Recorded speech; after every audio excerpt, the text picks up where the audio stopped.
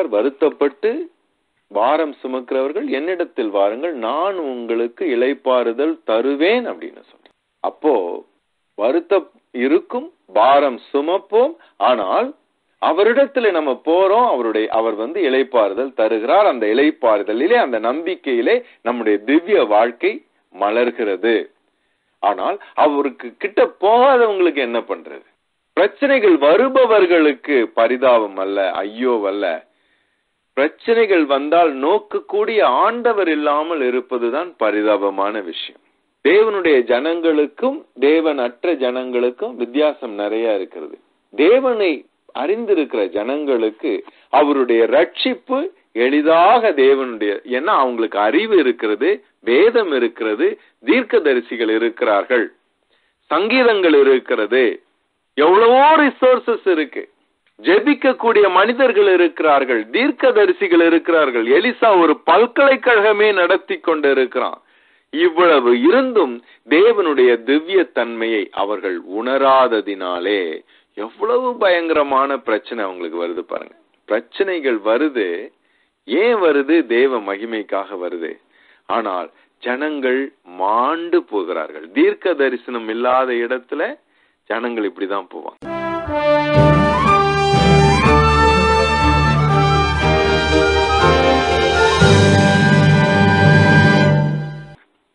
இந்த நாளுக்காக உமக்கு நன்றி செலுத்துகிறோம். அற்புதமான ஆண்டவரே இந்த சாட்சிகளுக்காக நன்றி சுவாமி. நீர் ஜீவிக்கிற தேவன் நீர் சுகம் அளிக்கிற தேவன். ஆண்டவரே உமக்குள் ஜீவன் இருக்கிறதுனால ஆண்டவரே ராஜா கர்த்தாவே அது எங்களுக்கு வெளிச்சமாய் இருக்கிறது எங்களுக்கு நம்பிக்கையாய் இருக்கிறது சுவாமி. இப்பேற்பட்ட தேவனை ஆண்டவரே எங்கள் கடவுளாக நாங்கள் கொண்டிருப்பது எவ்வளவு பெரிய பாக்கியம் சுவாமி. ஆண்டவரே கர்த்தாவே உடைய கிருபைகளுக்காக நன்றி. எங்களுடைய பாவங்களுக்காக மட்டுமல்ல எங்களுடைய நோய்களையும் நீ சுமந்து தீர்த்தீர் என்று வேதத்திலே ஆண்டவரே நாங்கள் வாசிக்கிறோம். எவ்வளவு அற்புதம் சுவாமி. ஆண்டவரே இந்த உலகத்துல எங்கும் கேள்விப்பட்டதாத ஆண்டவரே இந்த அற்புதமான சுவிசேஷத்திற்காய் நன்றி சுவாமி. கர்த்தாவே நன்றி. தொடர்ந்து ஆண்டவரே எங்களோடு இடைப்படும் எங்களோடு பேசும். இயேசுவின் நாமத்திலே கேட்க நல்ல பிதாவே. ஆமென். திருமறையின் திவ்ய காட்சிகளிலே நாம் திவ்யம் என்று நினைப்பது என்ன? சில பேர் என்ன நினைக்கிறார்கள் என்றால் திவ்யம் என்றால் பிரச்சனைகள் எதுவும் இல்லாமல் இருக்கும் ஒரு வாழ்க்கை என்று நினைக்கிறார்கள். சாலமோனுடைய வாழ்க்கை அப்படிதான் இருந்தது. அவனுக்கு எல்லாம் இருந்தது. ஆனால் அவனுடைய வாழ்க்கையில தேவனுடைய வார்த்தைகளை கேட்டு அந்த வார்த்தைகளின்படி தன்னை பக்குவப்படுத்திக் கொள்ளும்படியான வாய்ப்புகள் இல்லை. ஏன் வாய்ப்புகள் இல்லை என்றால் அவனுடைய வாழ்க்கையிலே சமாதானம் முழுமையாய் பொங்கி இருந்ததினாலே தேவனிடத்திலே அப்பா ஐயோ என்று சொல்லி அவரிடத்திலே போய் நம்ம கேட்கும்படியாய் கெஞ்சும்படியாய் அழுது குலுங்கி ஆண்டவருடைய பாதத்திலே கேட்டு பெற்றுக்கொள்ளும்படியாக அந்த மாதிரி நிர்பந்தங்கள் அவனுக்கு இல்லை. ரொம்ப சமாதானம் மனிதர்களை தேவனிடத்திலிருந்து கொஞ்சம் விலக்கி செல்வதை நம்ம சாலமோனுடைய வாழ்க்கையில பார்க்கிறோம். அதாவது மிகவும் அதிகமான சமாதானம் அதே மாதிரி அவனுடைய வாழ்க்கையிலே மிகவும் அதிகமான செல்வம். இது ரெண்டும் இருப்பதினாலே அவனுடைய வாழ்க்கையிலே தேவனை விட்டு அவன் விலகி போனான் என்று பார்த்தோம். எலிசா அவனுடைய வாழ்க்கை எப்படி இருந்தது? அவனுடைய வாழ்க்கை தேவனோடு அவன் முகமுகமாய் பேசுகிறவனாயிருந்தான் இரட்டிப்பான ஆவியை உடையவனாயிருந்தான் ஆனால் அந்த இரட்டிப்பான ஆவி உடையவனாய் இருந்ததினாலே அவனோடும் அவன் கூட இருந்தவர்களும் அவனை சார்ந்த தேசமும் மிகுந்த சமாதானமாய் இருந்ததா? இல்லை. ஆனால் எலிசாவுடைய வாழ்க்கையில திவ்ய காட்சிகள் அதிகமாய் இருந்தது என்று பார்க்கிறோம். அப்போ திவ்யம் என்று நாம் சொல்வது என்ன? மிகப்பெரிய சமாதானமா? மிகப்பெரிய ஆடலும் பாடலும் உள்ள சந்தோஷமான ஒரு சூழ்நிலையா? இல்லை. திவ்யம் என்று நாம் சொல்வது தேவன் இடைப்படுவது. பிரச்சனைகள் இல்லாமல் இல்லை. பிரச்சனைகள் எல்லாம் வந்தும் தேவன் பிரச்சனைகள் எவ்வளவு பெரிதாய் நமக்கு தென்படினும் தேவன் எப்பொழுதும் நம்மோடு இடைப்பட்டு கொண்டிருக்கிறார். அதுதான் ரொம்ப முக்கியம். நானும் என்னுடைய ஆண்டவரை தெரிந்து கொண்டு எனக்கு என்னுடைய வாழ்க்கையில கிட்டத்தட்ட முப்பத்தி ஐந்து வருடங்களுக்கு மேன்பா மேல ஆயிடுச்சு இத்தனை வருடங்களாய் எனக்கு பிரச்சனையே இல்லாமல் இருந்ததா? இல்லவே இல்லை. மகா பயங்கரமான பிரச்சனைகள் எல்லாம் எனக்கு வந்தது. ஆனால் அந்த பிரச்சனைகளிலே என்னுடைய வாழ்க்கையிலே திவ்யம் என்று நான் கருதுவது என்ன? திவ்யம் என்று கருதுவது அவருடைய வார்த்தைகள் எனக்கு வரும். நான் இருக்கும் சூழ்நிலையிலே தேவன் இந்த சூழ்நிலைகளுக்காக இப்படி பேசினார் இதன்படி நிச்சயமாய் செய்வார் என்ற காரியம் எனக்கு கொடுக்கப்படும். அப்ப எவ்வளவு பெரிய விஷயம் பாருங்க அது. நம்முடைய பிரச்சனைகள் வந்து சாதாரண காரியங்கள். ஆனா கோடி கோடி நட்சத்திரங்கள் சூழ்ந்த பிரபஞ்சங்கள் சூழ்ந்த இந்த உலகத்தை படைத்த தேவன் சதா காலமும் உயிரோடு இருக்கிற தேவன் அவர் வெறுமையிலிருந்து எல்லாவற்றையும் இருக்கிறவைகளாய் அழைத்த தேவன் என்னுடைய வாழ்க்கையின் பிரச்சனைகளிலே எனக்கு பேசுகிறார் எனக்காக பேசுகிறார் எனக்காக உதவி செய்கிறார் எனக்காக குணமளிக்கிறார் எனக்காக மீட்டு கொடுக்கிறார் என்பது எவ்வளவு பெரிய விஷயம் அது. அதுதான் ரொம்ப முக்கியம். நமக்கு வருகிற டேமேஜ் வந்து நமக்கு வருகிற ரட்சிப்பை விட ரொம்ப ரொம்ப ரொம்ப சிறிது. ஏன்? ரட்சிப்பு வந்து நமக்கு தேவாதி தேவனிடத்திலே வருவதினாலே அந்த ரட்சிப்பினுடைய வேல்யூ வந்து ரொம்ப அதிகம். தேவனை அற்ற மனிதர்கள் அவர்களுக்கு கூட கடவுள் தான் உதவி செய்யறாரு ஆனா அவங்களுக்கு கடவுள் உதவி செய்தார் என்று தெரியாது. ஆனால் தேவனுக்கு விரோதமாய் இருக்கிற மனிதர்களுக்கும் கடவுள் தான் உதவி செய்கிறார் என்று வேதத்துல போட்டிருக்கு. அப்போ எல்லா ரட்சிப்பும் விலையேறப்பட்டது. நமக்கு என்ன பாக்கியம்னா அந்த ரட்சிப்பை அவர் செய்வது மட்டுமல்லாமல் அந்த செய்யும் ரட்சிப்பை நமக்கு சொல்லிட்டு செய்கிறார் அவருடைய வார்த்தையின்படி வார்த்தை முதலிலே வருகிறது ரட்சிப்பு பின்பாக வருகிறது. வார்த்தை ஏன் முதலிலே வருகிறது என்றால் ரட்சிப்பு வரும்போது அது அவரால் நடந்தது என்று நமக்கு தெரியும். அதனாலதான் வந்து நம்ம பிரச்சனைகளில் இருக்கிறவர்களுக்காக அதிகமாய் ஜெபிக்க வேண்டும். ஏன் ஜெபிக்க வேண்டும்? அவங்க வந்து நம்ம ஜெபிக்காட்டா ஒன்னும் நடக்காதுன்னு அப்படின்லாம் கிடையாது. தேவன் வந்து ஜெபிக்காமலே சில சமயம் சுகம் கொடுக்கிறார். ஆனால் ஜெபிக்கிறதுனால தேவனுடைய நாம மைமைப்படுவது மட்டுமல்ல அந்த ஜெபத்தின் விளைவாக ரட்சிப்பை பெற்றுக்கொள்ளும் மனிதர்கள் அதனுடைய பலனை பெறுகிறார்கள். என்ன பலன் அது? அவரை அவருடைய மகத்துவமான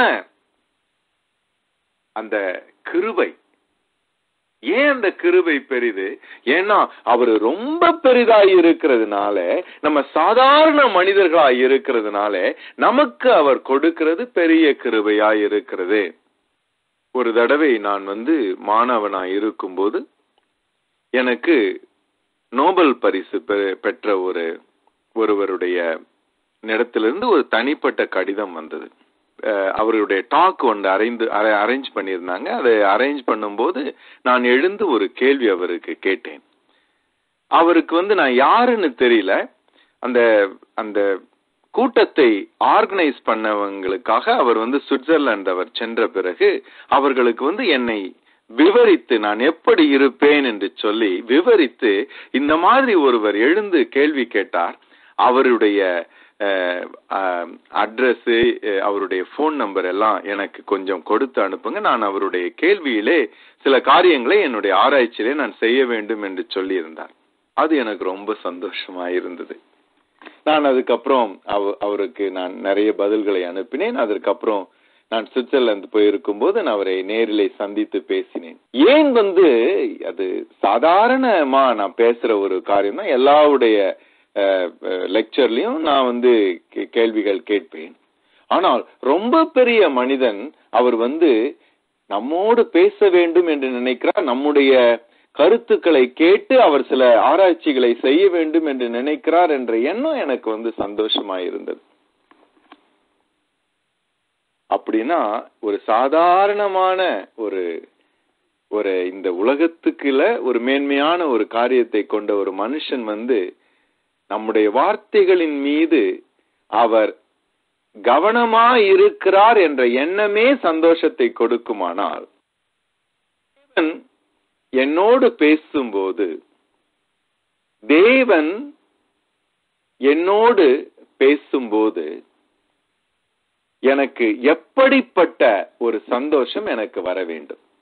அவர் எப்படிப்பட்ட தேவன்? எவ்வளவு பெரிய தேவன்? எனக்காக இறங்கி வந்து தன்னுடைய வார்த்தைகளை குறித்து அதை குறித்து கொடுத்து இதை படி இதிலே வந்து நான் உனக்கு வைத்து இருக்கிற வாக்கு தத்தங்கள் இருக்கிறது என்று சொல்லுகிறார். எனக்காக ஜெபிக்கிறவர்களுக்கு அந்த வார்த்தைகளை கொடுத்து எனக்கு என்ன ரட்சிப்பை அவர் செய்ய போகிறேன் என்பதை சொல்லி இருக்கிறார் சொல்கிறார். அதன்படியே நடக்கிறது அற்புதமாய் நடக்கிறது. அந்த அற்புதங்கள் பல்வேறு மனிதர்களுக்கு பல்வேறு விதமாய் நடந்தால் கூட எனக்கு நடப்பது திவ்யமானது. ஏன் திவ்யமானது என்றால் அவர் சொல்லியதினாலே அவருடைய வார்த்தைகளினாலே அது திவ்யமாயிற்று. நிகழ்வினாலே திவ்யமாகவில்லை அவருடைய வார்த்தைகளினாலே திவ்யமாயிற்று.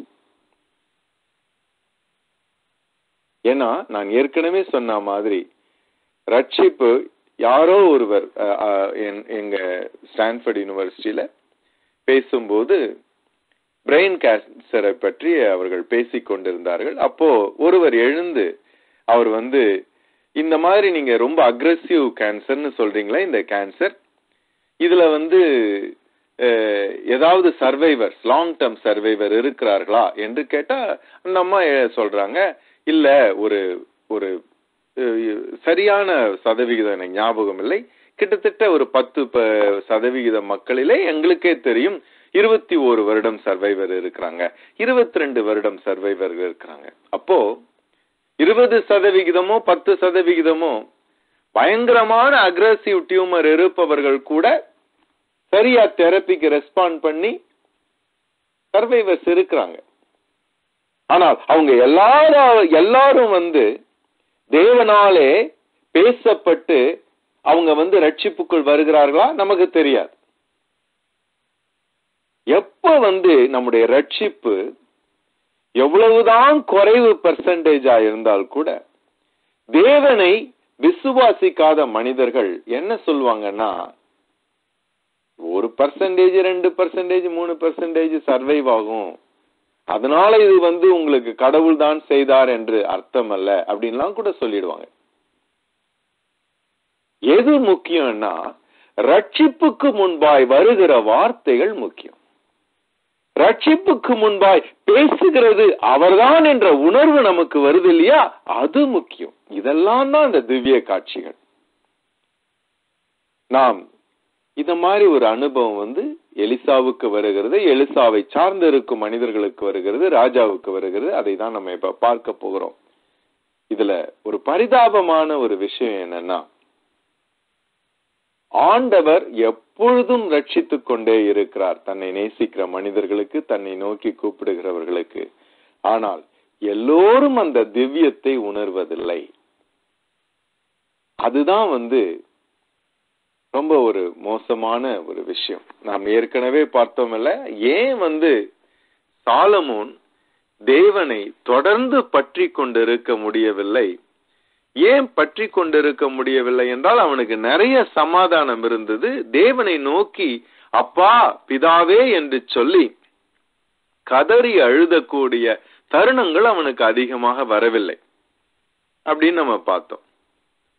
ஆனா தேவன் எல்லா காரியத்தையும் செய்தும் எத்தனையோ மனிதர்கள் அதையெல்லாம் பார்த்து கூட தேவனை பற்றி உணர்வு இல்ல தேவனை பற்றி நம்பிக்கை அவர்களுக்கு இல்ல. தேவனுடைய திவ்யங்களை தரிசிக்கக்கூடிய பாக்கியம் அவர்களுக்கு இல்ல அதுதான் இந்த நாட்களில் மட்டுமல்ல அந்த நாட்களிலும் அதிகமாய் நம்மை பார்க்கிறோம். இந்த காரியங்களை எல்லாம் நம்ம தியானிக்க போகிறோம் முக்கியமான விஷயம் அவைய திவ்ய சுவாபத்தை நாம் அறிந்து கொள்ள வேண்டும். ரெண்டு ராஜாக்கள் ஆறாவது அதிகாரம் இருபத்தி நான்கிலிருந்து முப்பத்தி மூன்று ஒரு ஒரு வாசியுங்கள். ஏழாவது அதிகாரம் ஒன்றிலிருந்து பதினான்கு வரைக்கும் யாராவது ஒருவர் வாசியுங்கள். இதற்கு பின்பு சீரியாவின் ராஜாவாகிய பெனாதா தன் இராணுவத்தை எல்லாம் கூட்டிக் கொண்டு வந்து சமாரியாவை முற்றுகை போட்டான். அதனால் சமாரியாவிலே கொடிய பஞ்சம் உண்டாயிற்று. ஒரு கழுதை தலை எண்பது வெள்ளிக்காசுக்கும் புறாக்கள் போடுகிற கார்படி பயிறு ஐந்து வெள்ளிக்காசுக்கும் விற்கப்பட்டு மட்டும் அதை முட்டிகை போட்டார்கள். இஸ்ரவேலின் ராஜா அலங்கத்தின் மேல் நடந்து போகையில் ஒரு ஸ்திரீ அவனை பார்த்து கூப்பிட்டு ராஜாவாகிய என் ஆண்டவனே ரெச்சியும் என்றாள். அதற்கு அவன் கத்தர் உன்னை ரட்சிக்காதிருந்தால் நான் எதிலிருந்து எடுத்து உன்னை ரட்சிக்கலாம் களஞ்சியத்தில் இருந்தா ஆலையில் இருந்தா? என்று சொல்லி ராஜா பின்னையும் அவளை பார்த்து உனக்கு என்ன வேண்டும்? என்று கேட்டான். அதற்கு அவள் இந்த ஸ்திரீ என்னை நோக்கி உன் மகனை தா அவனை இன்று தின்போம் நாளைக்கு என் மகனை தின்போம் என்றாள்.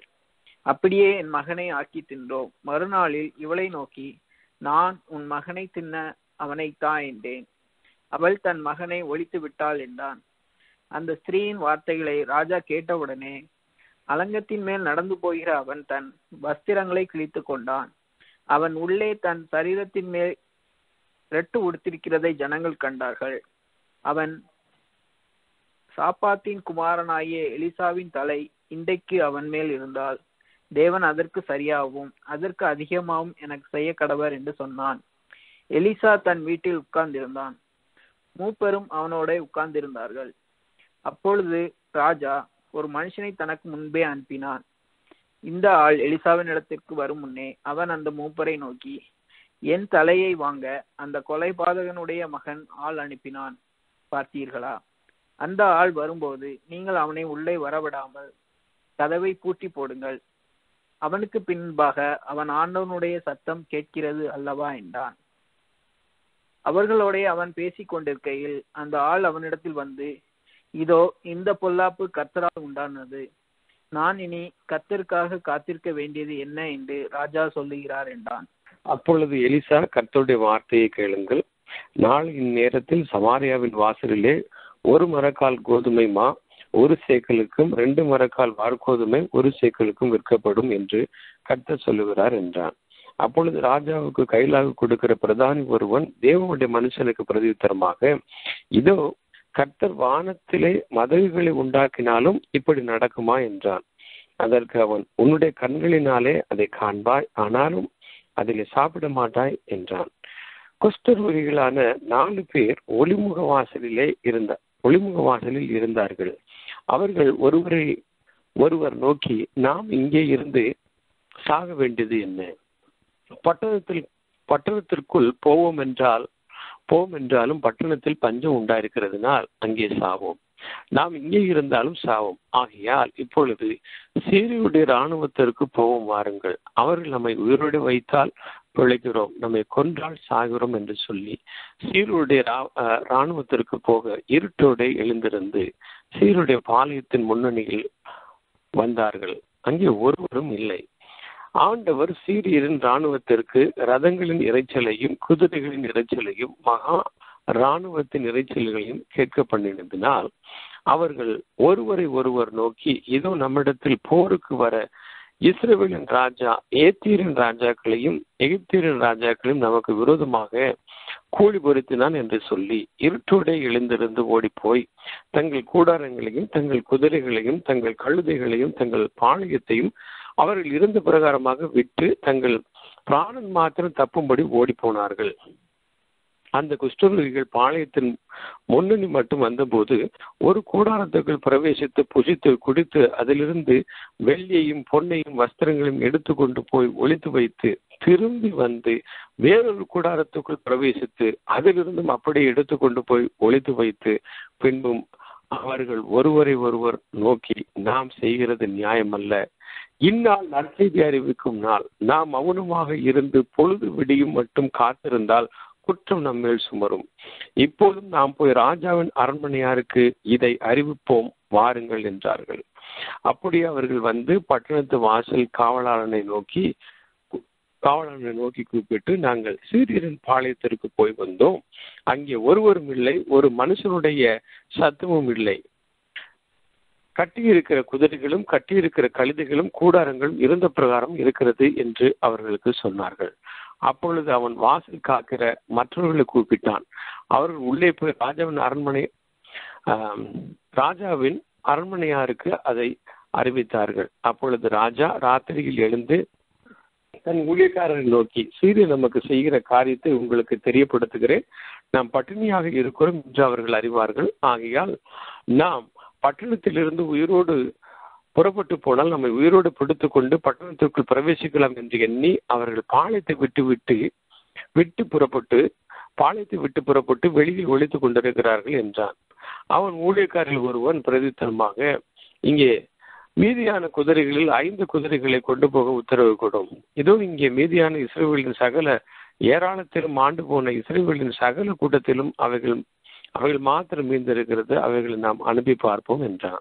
அப்படி ரெண்டு ரத குதிரைகளை கொண்டு வந்தார்கள். ராஜா போய் வா- போய் வாருங்கள் என்று சொல்லி சீரியன் ராணுவத்தை தொடர்ந்து போகும்படி அனுப்பினார் அவர்கள் யோர்தான் மட்டும் அவர்களை பின்தொடர்ந்து போனார்கள். சீரியர் தீவிரத்து ஓடுகையில் அவர்கள் எரிந்து போட்ட வஸ்திரங்களாலும் தட்டுமுட்டுகளாலும் வழியெல்லாம் நிறைந்திருந்தது. அனுப்பப்பட்டவர்கள் திரும்பி வந்து ராஜாவுக்கு அதை அறிவித்தார்கள். அப்போது ஜனங்கள் புறப்பட்டு சீரியன் பாளையத்தை கொள்ளையிட்டார்கள். கத்துடைய வார்த்தையின்படியே ஒரு மரக்கால் கோதுமைமா ஒரு சேக்கலுக்கும் ரெண்டு மரக்கால் வார்கோதுமை ஒரு சேக்கலுக்கும் விற்கப்பட்டது. இது பாருங்க. தேவன் அவர் ரட்சிக்க அவர் விருப்பமாயிருக்கிறார்.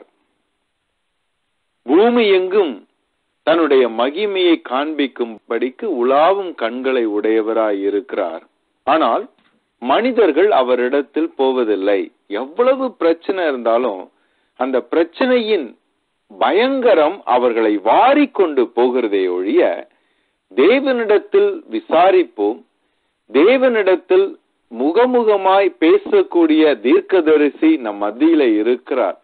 இதைவிட மிக பயங்கரமான பிரச்சனைகள் வரும்போதெல்லாம் அவர் காப்பாற்றினார். இந்த சீரியரின் ராணுவம் ஒன்றும் இல்லாமல் செய்ய அவரால் முடியும் என்று சொல்லி நம்ப அவர்களுக்கு முடியவில்லை. ஏன் முடியவில்லைன்னா அவங்களுக்கு வந்து அவங்களுடைய ரட்சிப்பை எல்லாவற்றையும் தேவனிடத்துல ப்ரொஜெக்ட் பண்ணாம எலிசாவின் இடத்துல ப்ரொஜெக்ட் பண்ணிக்கிறாங்க. எலிசா இருப்பதினாலே நம்ம போன வாரம் பார்த்தோம் அந்த அந்த பெண்மணி அந்த அம்மாவுக்கு வந்து எலிசா ஒரு ரட்சிப்பை செய்கிறார். அப்ப எலிசா இல்லாத ஒரு சூழ்நிலை வந்து விடுகிறது. ஆனால் அந்த அம்மா வந்து தேவனை தெரிந்ததினாலே நம்பி ராஜாவினிடத்துல போய் தன்னுடைய எல்லா சொத்து பத்துக்களை எல்லாம் வந்து அவங்க என்ன செய்யறாங்க மீட்டு கொள்கிறார்கள் என்று பார்த்தோம் எலிசாவல்ல எலிசா காட்டுகிற தேவன் முக்கியம். இது வந்து ராஜாவுக்கும் தெரியல ஜனங்களுக்கும் தெரியவில்லை. எலிசா நம்ம ஏற்கனவே நான் சொன்ன மாதிரி எலிசா ஒரு பல்கலைக்கழகமா இருந்தான். ஆனால் அந்த பல்கலைக்கழகத்திலே படிப்பதற்கு யாருக்கும் விருப்பம் இல்லை ஏதாவது அவனுடைய அவனுடைய ஜபத்தினால கிடைக்குமா? அதை கிடைத்துக்கிட்டு சந்த வேற ஏதாவது ஒரு வாழ்க்கையை நம்ம பார்த்துக்கிட்டு நம்ம வாழ்க்கையை நம்ம பாட்டு பார்த்துக்கிட்டு போயிடுறாங்க. அவங்களுக்கு வந்து அற்புதங்களை பார்த்து அனுபவிக்கிறார்களே ஒழிய அந்த அற்புதங்கள் தேவனோடு அவர்களுக்கு தொடர்பை ஏற்படுத்துவதாக அவர்கள் வளர்வதாக தெரியவில்லை. இதுதான் வந்து ரொம்ப பெரிய இந்த மிரக்கல் ஹீலிங்னால பிரச்சனை. மிரக்கல் ஹீலிங்க்கு வருகிற நிறைய பேர் ஆண்டவருடைய அந்த பெரிய ரட்சிப்பை ஏற்றுக்கொண்டு அப்படியே போயிடுறாங்க. நிறைய பேர் வந்து தேவனோடு கூட அந்த உறவிலே அவர்கள் வந்து வளர்வதில்லை. வளரும்படியாய் இந்த மாதிரி கூட்டங்களுக்கு ஜனங்களை கூட்டி போகிறவங்க அவங்க வளரும்படியாய் ஏதாவது ஒரு முயற்சி எடுக்க வேண்டும். ஏனென்றால் மிரக்கல் ஹீலிங் பண்றவங்க மிரக்கல்ஸ் நடத்துகிறவர்கள் வந்துவிட்டு போய்விடுவார்கள். அது அந்த அந்த ஊழியம் எல்லாம் தேவனுடைய தொடர்பாக அது பரிணமிக்கும் போதுதான் தேவனுடைய திவ்ய தன்மையை மனிதர்கள் உணர்ந்து கொள்வார்கள். இல்லைன்னா இப்படிதான் ஆகும். இதுக்கு முன்னாடி தான் இவங்க பார்த்திருக்கிறாங்க ஒரு மகா பெரிய ராணுவத்தை எலிசா தலைநகரத்துக்கு வழியா நடத்தி கொண்டு போகிறான். அதெல்லாம் பார்த்திருக்கிறாங்க. கத்தியுன்றி யுத்தமின்றி அவங்க எல்லாம் சமாதானமா போயிட்டாங்க. இவங்களை கண்டு அதையும் பார்த்திருக்காங்க. எவ்வளவோ அற்புதங்களை பார்த்திருக்கிறார்கள். வானத்திலிருந்து எலியா வானத்திலிருந்து அக்னியை வந்து இறக்கி பலியை பட்சித்து போட்டதெல்லாம் பார்த்து எல்லாத்தையும் பார்த்திருக்கிறாங்க. பார்த்தும் அத்தனை அற்புதங்களை பார்த்தும் வளர்ச்சி இல்லை. தேவனுடைய திவ்ய தன்மை உணரக்கூடிய கிருவையை அவர்கள் பெற்றுக்கொள்ளவில்லை தேவன் கொடுக்க தயாராக இருந்தார் ஆனால் அவர்கள் எடுத்துக்கொள்ள தயாராக இல்லை. தேவனுடைய ஜனங்களுக்கும் தேவன் அற்ற ஜனங்களுக்கும் வித்தியாசம் நிறைய இருக்கிறது. தேவனை அறிந்திருக்கிற ஜனங்களுக்கு அவருடைய ரட்சிப்பு எளிதாக தேவனுடைய ஏன்னா அவங்களுக்கு அறிவு இருக்கிறது வேதம் இருக்கிறது தீர்க்கதரிசிகள் இருக்கிறார்கள் சங்கீதங்கள் இருக்கிறது எவ்வளவோ ரிசோர்சஸ் இருக்கு. ஜெபிக்கக்கூடிய மனிதர்கள் இருக்கிறார்கள் தீர்க்கதரிசிகள் இருக்கிறார்கள். எலிசா ஒரு பல்கலைக்கழகமே நடத்தி கொண்டு இருக்கிறான் இவ்வளவு இருந்தும் தேவனுடைய திவ்ய தன்மையை அவர்கள் உணராததினாலே எவ்வளவு பயங்கரமான பிரச்சனை அவங்களுக்கு வருது பாருங்க. பிரச்சனைகள் வருது. ஏன் வருது? தேவ மகிமைக்காக வருது. ஆனால் ஜனங்கள் மாண்டு போகிறார்கள். தீர்க்க தரிசனம் இல்லாத இடத்துல ஜனங்கள் இப்படிதான் போவாங்க. தீர்க்க தரிசி இருப்பான். தீர்க்க தரிசனத்தை கேட்காத ஜனங்கள். தீர்க்க தரிசனத்தை உணராத ஜனங்கள். என்ன செய்திருக்க வேண்டும்? இந்த மாதிரி பயங்கரமா கொடிய அவன் முற்றுகை போட்டு இருக்கிறான் என்று ஆண்டவரை நோக்கி இப்பதான் அவன் இருட்டு உடுத்தினதாக வேதத்துல பாக்குறோம் எல்லாம் முடிந்த பிறகு எல்லாம் அழிந்த பிறகு இதற்கு முன்பாகவே அவன் ஆண்டவருடைய சமூகத்திலே உபவாசத்தை அறிவித்து ஆண்டவருடைய கண்களை பார்த்து ஆண்டவரே எங்களுக்கு ரட்சியம்னு சொன்னா இப்ப வந்த அந்த இறைச்சலையும் அதெல்லாம் பார்த்து ரட்சிக்கிற தேவன் அப்பவே பண்ணியிருப்பார். ராஜாவுடைய ஆட்டிடியூட் எப்ப மாறுது பாருங்க. ராஜா வந்து முதல்ல சொல்றான் எலிசாவை நான் கொலை செய்ய போகிறேன். எலிசா என்ன பண்ணான்? ஏன் கொலை செய்ய போறேன்னா அவன் வந்து ஒரு தீர்க்கதரிசி இதை தடுத்து இருக்கலாம் அப்படின்னு சொல்றான் அவன். அது ரீசனபிளா கிடையாது. நடக்கிற நன்மைக்கெல்லாம் எலிசா காரணமா காரணமா சொன்னானா சொல்லவே இல்லை. தீமை நடக்கும் போது தீர்க்கதரிசி சரியாய் ஜெபிக்கவில்லை. அதனாலதான் வந்து இந்த மாதிரிலாம் நடக்குதுன்னு சொல்றது எவ்வளவு சரி என்று எனக்கு தெரியவில்லை. எலிசாவை கொலை செய்ய வேண்டும் என்று நினைக்கிறான். ஆனா அவனுடைய வாழ்க்கையிலே மனசு அந்த நேரத்துல மனசு மாறிது பாருங்க. ஏனென்றால் அவன் இருட்டு உழுத்தி தேவனுடைய சமூகத்திலே வந்து நிற்கிறதுனால அவனுடைய மனசு மாறுது. இப்போ ராஜா இருட்டுடுத்தி இருக்கிறான் தேவனுடைய ரட்சிப்பு வந்துடுச்சு. எந்த அளவிற்கு தேவனுடைய ரட்சிப்பு வந்துடுச்சுன்னா கவனிங்க அந்த சீக்வன்ஸ பாருங்க. ராஜா இருட்டுடுத்து இருக்கிறான். ராஜா கொலைவெறியோடு அந்த நோக்கத்தோடு இருட்டு உடுத்தி இருக்கிறான். ஆனால் அவனுடைய மனதை தேவன் மாற்றுகிறார். அதே நேரத்துல அவன் இருட்டுடுத்தி அவன் ஜெபித்து கொண்டு இருக்கும்போது அல்ல ஒருவேளை வேதனையோடு கதறி கொண்டு இருக்கும்போது தேவனுடைய ரட்சிப்பு ஆரம்பிச்சிடுச்சு வெளியில. எலிசாவுக்கு வார்த்தை அதற்கு பிறகுதான் வருகிறது கவனிங்க நமக்கு ஜெபிக்கிறவங்களுக்கு கூட வார்த்தை வர வேண்டும் என்றால் நாம கதறி ஆண்டவருடைய சமூகத்திலே போய் போராட வேண்டும். அப்போ நம்முடைய ரட்சிப்பாய் மற்றவருடைய வாயிலிருந்து அவங்க ஜெபிக்கும் போது இல்லை நம்ம வேதம் விசா வாசிக்கும் போது நமக்கு வார்த்தைகள் வரும். எப்பவுமே ஜபம் யாரு வந்து அஃபெக்ட் ஆயிருக்காங்களோ அவங்களிடத்துல ஆரம்பிக்க வேண்டும் என்பதை நம்ம பார்க்கிறோம். அதிகமாய் பாதிக்கப்பட்டிருக்கிறது ராஜா தான். ஏனென்றால் அவனுடைய குடிகள் அல்லவா அவங்களுடைய வேதனை வந்து பார்த்து வருத்தப்படுகிறான். எவ்வளவு பயங்கரமான வியா அந்த பாருங்க அந்த ஜனங்கள் வந்து எந்த அளவுக்கு அவங்க ட்விஸ்டடா இருந்தா இப்படியெல்லாம் யோசிக்கிறாங்க அவங்க. கேனிபாலிசத்துல போறாங்க. அந்த அளவிற்கு அவர்களுக்கு வந்து தேவனை அறியாத ஒரு தன்மையினால இப்ப வந்து லேட்டஸ்டா உங்களுக்கு எல்லாருக்கும் தெரியுமா தெரியல. குழந்தைகளோடு சீட் பெல்ட் இல்லாம ஒரு குடும்பம் நிறைய பெரிய எத்தனை குழந்தைகளோடு தங்களை மாய்த்து கொண்டிருக்கிறார்கள். ஏன் அப்படி செய்தார்கள் என்று தெரியவில்லை. ஒரு பேரண்ட்ஸ் அவங்களுடைய நிறைய பிள்ளைங்களோட போய் தங்களை மாய்த்து கொண்டிருந்திருக்கிறார்கள். அதுக்கு வந்து இப்ப இந்த சைல்டு ப்ரொடெக்ஷன் ஏஜென்சி வந்து இன்வெஸ்டிகேட் பண்ணிட்டு இருக்காங்க. எப்படி ஒரு குடும்பம் முழுவதுமா இந்த மாதிரி கிளிப்டில் போய் அப்படியே கீழே இறங்கிட்டாங்க. மனிதர்கள் வந்து தாறுமாறா யோசிக்கிறார்கள். அவர்களுக்கு பிரச்சனை வரும்போது தேவனோடு பிரச்சனைகளை அணுகுபவர்களுக்கும் தேவனற்று பிரச்சனைகளை அணுகுபவர்களுக்கும் நிறைய வித்தியாசம் இருக்கு. அதனாலதான் ஆண்டவருடைய செய்தியை நற்செய்தி என்று சொல்லுகிறோம். ஏன்? நற்செய்தி சொல்வதினால அவர்களுக்கு பிரச்சனையே வராதுன்னு அல்ல பிரச்சனைகள் வரும்போது நற்செய்தி இருந்தால் எப்படி அவர்களுடைய வாழ்க்கையிலே மாற்றங்கள் இருக்கும்? எப்படி அவருடைய அதே பிரச்சனைகள் தங்களுடைய வாழ்க்கையிலே திவ்ய அனுபவங்களா எப்படி மாறும்? அதுதான் நற்செய்தி. ஆண்டவர் சொல்லுகிறார் வருத்தப்பட்டு பாரம் சுமக்கிறவர்கள் என்னிடத்தில் வாருங்கள் நான் உங்களுக்கு இலைப்பாறுதல் தருவேன் அப்படின்னு சொல்றேன் அப்போ வருத்தம் இருக்கும் பாரம் சுமப்போம் ஆனால் அவரிடத்துல நம்ம போறோம் அவருடைய அவர் வந்து இலைப்பாறுதல் தருகிறார். அந்த இலைப்பாறுதலிலே அந்த நம்பிக்கையிலே நம்முடைய திவ்ய வாழ்க்கை மலர்கிறது. ஆனால் அவருக்கு கிட்ட போகாதவங்களுக்கு என்ன பண்றது? பிரச்சனைகள் வருபவர்களுக்கு பரிதாபம் அல்ல ஐயோ அல்ல. பிரச்சனைகள் வந்தால் நோக்கக்கூடிய ஆண்டவர் இல்லாமல் இருப்பதுதான் பரிதாபமான விஷயம்.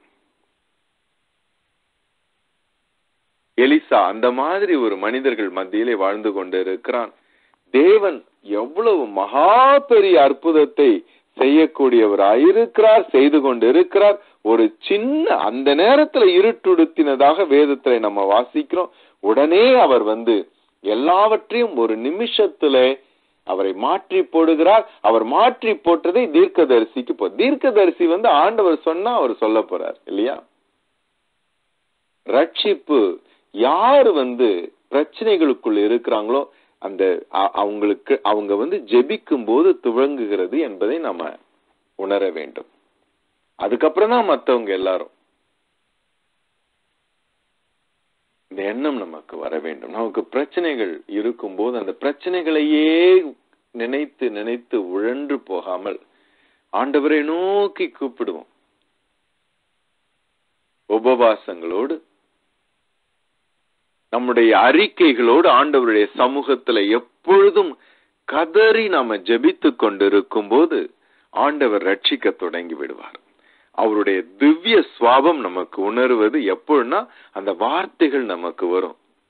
ராஜாவுக்கு மற்றவர்களுக்கு எலிசாவுடைய வார்த்தைகளாக வரும். அப்போ ஆண்டவருடைய சமூகத்திலே அப்ப கூட ராஜாவுக்கு வந்து விசுவாசம் இருப்பதாக தெரியவில்லை. ஏன்னா அவன் வந்து ஆண்டவர் ரட்சித்துட்டாருன்னு தெரிஞ்ச உடனே கூட அவன் என்ன சொல்றான்? ஒருவேளை என்னை ஏமாத்துறதுக்காக. அப்படியெல்லாம் கூட நம்முடைய வாழ்க்கையில கூட சில சமயம் நடக்கும். ஆண்டவர் ரட்சித்திருப்பார் ஆனா நம்மளால நம்ப முடியாது. ஆனால் விசுவாசம் இல்லாமல் ஜெபித்தால் கூட ஆண்டவர் வந்து ரட்சிப்பு அனுப்புறாரு பாருங்க. அது அவருடைய திவ்ய தன்மை எப்படியும் ஆண்டவருடைய சமூகத்திலே போய் ஆண்டவரே எனக்கு ரட்சிப்பை கொடுங்க.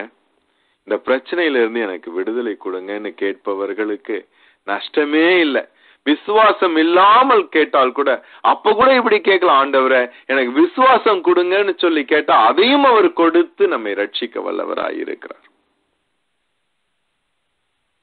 எப்பவும் ஆண்டவருடைய சமூகத்திலே போவோம். எல்லாவற்றுக்காகவும் போவோம். பிரச்சனைகளை பார்த்து துவண்டு எல்லாரிடத்துலயும் அங்க போய் இங்க போய் கேட்டு அந்த மாதிரி செய்யாம அவரையே நோக்கி பார்ப்போம்.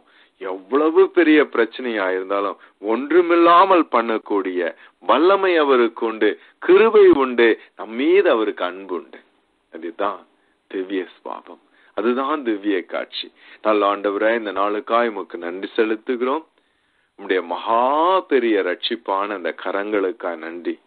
எவ்வளவு பிரச்சனை வந்தாலும் அப்பா பிதாவே என்று சொல்லி உம்மை நோக்கி கூப்பிடும்படியான கருவை கொடுத்திருக்கிறீரே அதற்காக நன்றி. எவ்வளவு ப்ராப்ளம் வந்தாலும் அதை ஒன்றுமில்லாமல் பண்ணக்கூடிய தேவன் ஆண்டவர. நீர் ரதங்களை சுட்டரிக்கிறீர் சுவாமி. வில்லை உடைக்கிறீர் சுவாமி. உம்மால எல்லாம் கூடும் ஆண்டவரே. எங்களுடைய பகை எங்களுக்கு விரோதமாய் இருக்கும் நோய்கள் எல்லாவற்றையும் ஒன்றுமில்லாமல் பண்ண உங்களால் முடியும் சுவாமி. அந்த விசுவாசத்தை மட்டுமல்ல சுவாமி. எல்லா காரியத்துக்கும் உண்மையே நாங்கள் நோக்கி பார்க்கக்கூடிய கிருபைகளை எங்களுக்கு தாரோம். உண்மையே நாங்கள் ஆண்டவரே போக்கஸ் பண்ண எங்களுக்கு உதவி செய்தரலாம். இயேசுவின் நாமத்திலே கேட்கிற நல்ல பிதாவே. ஆமென். ஆமென். ஆமென். மாறாவின் தண்ணீரெல்லாம் மதுரமாக மாறி போகும். மாறாவில் தண்ணீரெல்லாம் மதுரமாக மாறி போகும். கண்ணீர் மாறிடும் துக்கம் மாறிடும் கண்ணீர் மாறிடும் துக்கம் மாறிடும். ஒரு வார்த்தை சொன்னால் போதுமே. ஒரு வார்த்தை சொன்னால் போதுமே. ஒரு வார்த்தை சொல்லும் கட்டாவே எங்கள் வாழ்க்கையெல்லாம் செழிப்பாகுமே ஒரு வார்த்தை சொல்லும் கட்டாவே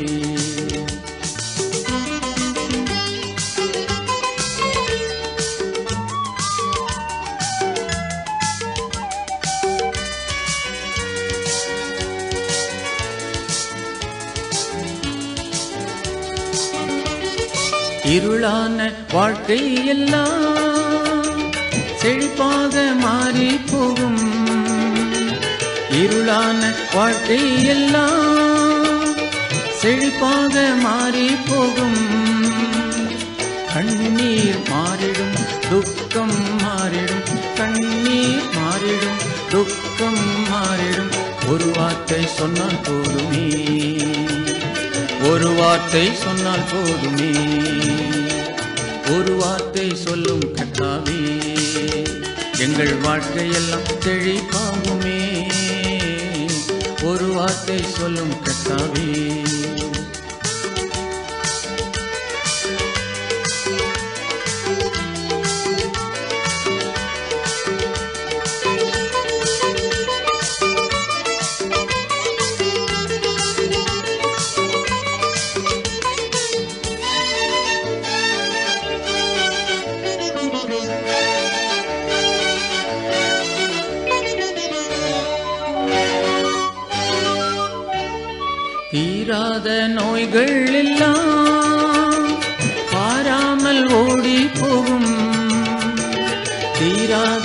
தீராத எல்லாம் பாராமல் ஓடி போகும்.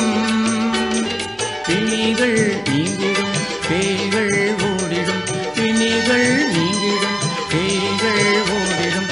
ஒரு வார்த்தை சொன்னால் போதுமே. ஒரு வார்த்தை சொன்னால் போதுமே. ஒரு வார்த்தை சொல்லும் கட்டாவே. எங்கள் வாழ்க்கையெல்லாம் தெளிப்பா